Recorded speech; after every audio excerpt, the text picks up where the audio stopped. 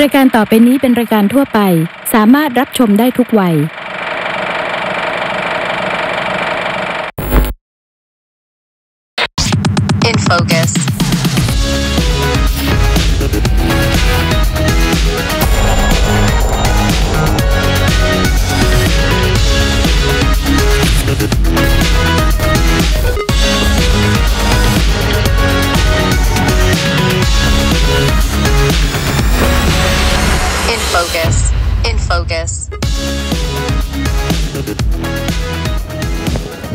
วัสดีค่ะ คุณผู้ชมค่ะ ขอต้อนรับเข้าสู่รายการ In Focus นะคะ มารอบรู้เรื่องราวในต่างประเทศกับตะวันรุ่งเตี๋ยประดิษฐ์ค่ะสำหรับในช่วงสุดสัปดาห์นี้นะคะ ก็มีเรื่องราวที่น่าสนใจ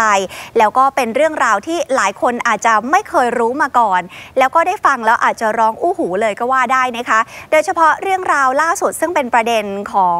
คู่รักนะคะ แห่งราชวงศ์อังกฤษนะคะ นั่นก็คือเจ้าชายแฮร์รี่กับเจ้าหญิงเมแกนมาร์เคิลนั่นเองนะคะ เพราะว่าล่าสุดค่ะมีการตรวจสอบลำดับญาติของเมแกนมาร์เคิลตรวจสอบไปตรวจสอบมา เหมือนว่าทั้งคู่เนี่ยจะเป็นญาติห่างๆกันค่ะ เดี๋ยวเราไปไล่เรียงกันเลยนะคะ ว่าที่มาที่ไปของเรื่องนี้นั้นมาจากอะไรค่ะ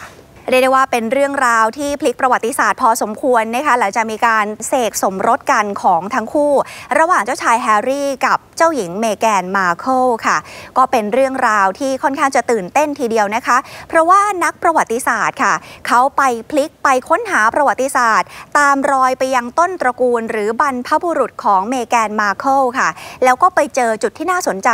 ว่าบรรพบุรุษของมาร์เคิลนั้นเคยถูกกษัตริย์เฮนรี่ที่ 8 ของอังกฤษ ตัดศีรษะ และยังพบว่ามาร์เคิลนั้นเป็นญาติห่างๆกับเจ้าชายแฮร์รี่อีกด้วยค่ะ ชาวอเมริกันทั่วประเทศนะคะ ก็ ตั้งแต่ตื่นขึ้นมาในเช้าวันที่ 27 พฤศจิกายน ปี 60 ตกอกตกใจกันเมื่อเห็นข่าวครึกโครมค่ะ เพราะว่าเป็นข่าวว่าเมแกนมาร์เคิลนักแสดงและนักสังคมสงเคราะห์ชาวอเมริกัน จะเข้าพิธีหมั้นกับเจ้าชายแฮร์รี่ เจ้าชายแห่งเวลส์ราชวงศ์อังกฤษแต่ก็ไม่ใช่ทุกคนหรอกนะคะ ที่ยินดีปรีดากับเรื่องนี้ เมื่อพระราชวังเคนซิงตันได้ประกาศการหมั้นครั้งนี้ขึ้น นิตยสาร The Spectator นิตยสารแนวอนุรักษ์นิยมของอังกฤษค่ะ ก็ลงบทความคัดค้านในทันที ได้บอกว่ามาเคิลไม่มีความเหมาะสมสำหรับเจ้าชายแฮร์รี่ เหตุผลก็คือมาเคิลเป็นผู้หญิงไม้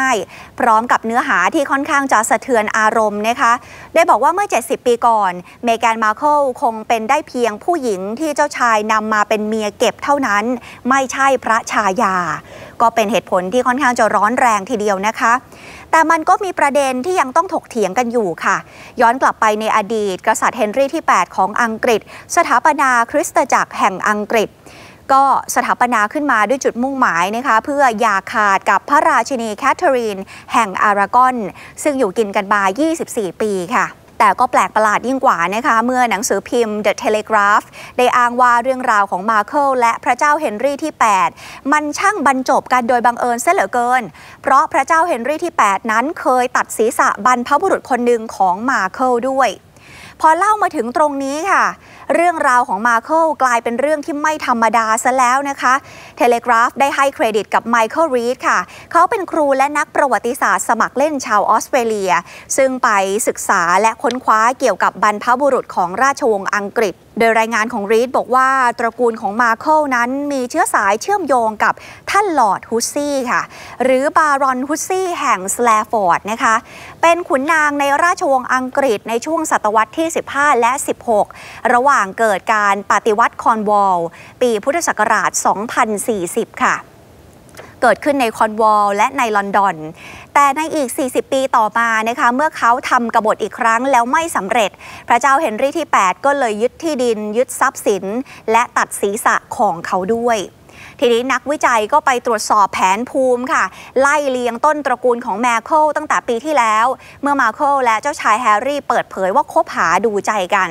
อย่างที่รู้กันนะคะว่ามาร์เคิลเป็นผู้หญิงสองเชื้อชาติ มีแม่เป็นสาวผิวสี และมีพ่อผิวขาวเชื้อสายยิวและมาร์เคิลก็มีเชื้อสายลอร์ดฮุสซี่จากทางคุณพ่อด้วย สืบเชื้อสายมาจากกัปตันคริสโตเฟอร์ ฮุสซี่ ซึ่งมีศักดิ์เป็นลืบของลอร์ดฮุสซี่ค่ะ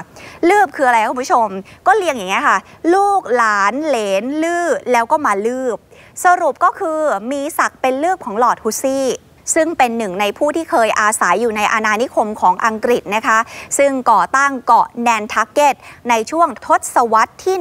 1,600 นั่นเอง ซึ่งเทเลกราฟก็บอกด้วยนะคะว่าแท้จริงแล้วมาร์เคิลและเจ้าชายแฮร์รี่นั้น อาจจะเป็นญาติห่างๆกัน ผ่านบรรพบุรุษร่วมกันค่ะ ซึ่งก็คือเดอร์แฮม ราล์ฟโบวส์นะคะ ซึ่งเป็นระดับนายอำเภอของเมือง และเกิดในปลายศตวรรษที่ 15 ค่ะ ส่วนอีกสายหนึ่งถ้าว่ากันทางคุณแม่ก็คือดอเรียแล็กซ์แลนด์นะคะสืบเชื้อสายมาจากแอฟริกา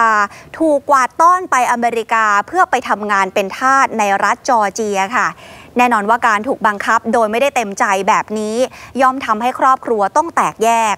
และเมื่อแกะรอยลำดับเครือญาติของชาวอเมริกันที่ถูกเกณฑ์มาเป็นทาสในช่วงหลายร้อยปีที่ผ่านมา ราชวงศ์อังกฤษก็ทำแบบนี้แหละค่ะ มีนักประวัติศาสตร์และโปรดิวเซอร์รายการโทรทัศน์ท่านหนึ่งบอกนะคะว่า บางทีมาร์เคิลไม่ใช่สมาชิกในราชวงศ์อังกฤษคนแรก ที่มีรากเหง้ามาจากแอฟริกา ถ้าลองตรวจสอบดูก่อนหน้านี้ค่ะ สมเด็จพระราชินีชาร์ลอตต์แห่งอังกฤษ ซึ่งอภิเษกสมรสกับกษัตริย์จอร์จที่ 3 ในช่วงทศวรรษที่ 1760 สืบเชื้อสายมาจากยุโรปและแอฟริกา เจ้าหญิงชาร์ลอตต์เป็นเจ้าหญิงเยอรมันจากเมคเลนบวร์ก สเตรลิตซ์นะคะซึ่งถ้าหากเป็นจริงเดอะการ์เดียนก็รายงานค่ะว่านี่จะหมายความว่าราชวงศ์อังกฤษสมัยใหม่ มีบรรพบุรุษสายเลือดแอฟริกาปนอยู่แล้วก่อนหน้านี้ ซึ่งชาวแอฟริกันเองก็เคยถูกเกณฑ์มาเป็นทาสใช้แรงงาน ทั้งในสหรัฐในอังกฤษเจ้าอาณานิคมค่ะ สำหรับจนถึงตอนนี้นะคะควีนเอลิซาเบธที่ 2 ก็ยังปฏิเสธข้อเรียกร้องที่ให้ออกมาขอโทษ กรณีที่อังกฤษเนี่ยมีบทบาทในการค้าทาสแต่ว่าวันนี้นะคะถ้าย้อนมองภาพจริง ๆ ก็จะเห็นเลยว่าราชวงศ์อังกฤษนั้นก็กลับได้ลูกหลานทาสเข้ามาเป็นสมาชิกอย่างหลีกเลี่ยงไม่ได้ค่ะ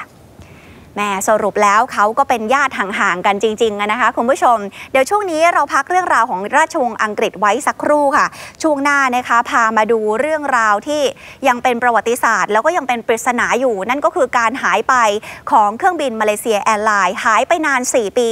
ล่าสุดรัฐบาลมาเลเซียประกาศที่จะยุติการค้นหาเป็นที่เรียบร้อยค่ะ In focus.